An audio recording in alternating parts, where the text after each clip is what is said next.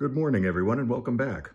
We're continuing our series of readings through the Psalter, all 150 Psalms through the course of the month of April.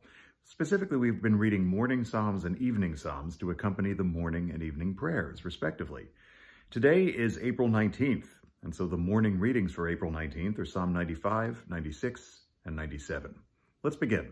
Psalm 95. O come, let us sing to the Lord. Let us make a joyful noise to the rock of our salvation.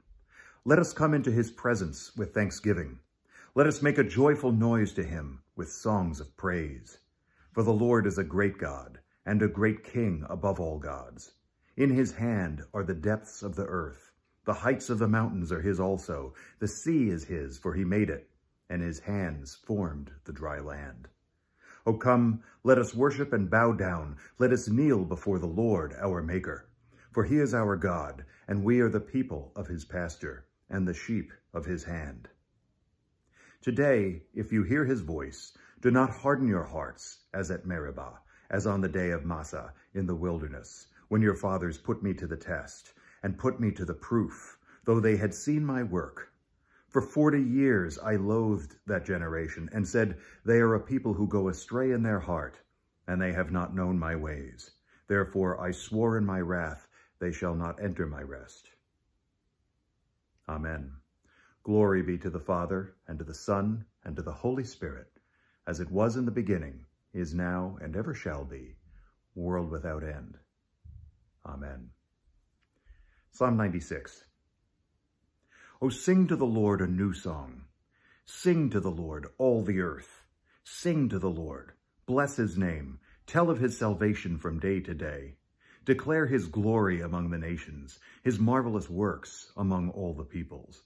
For great is the Lord, and greatly to be praised. He is to be feared above all gods.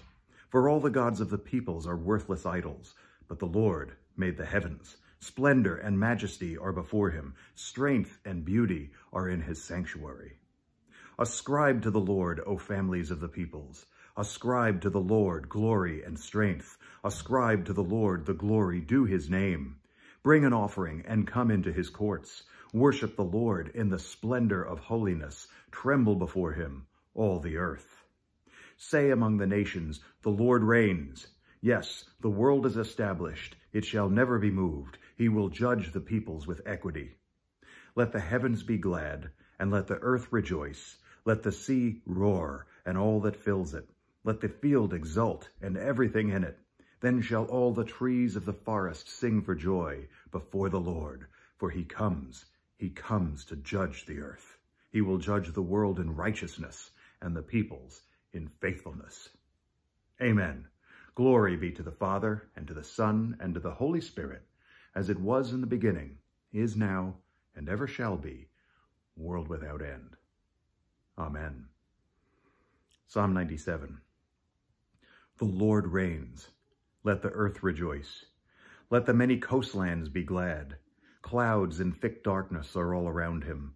Righteousness and justice are the foundation of his throne. Fire goes before him and burns up his adversaries all around. His lightnings light up the world. The earth sees and trembles. The mountains melt like wax before the Lord, before the Lord of all the earth.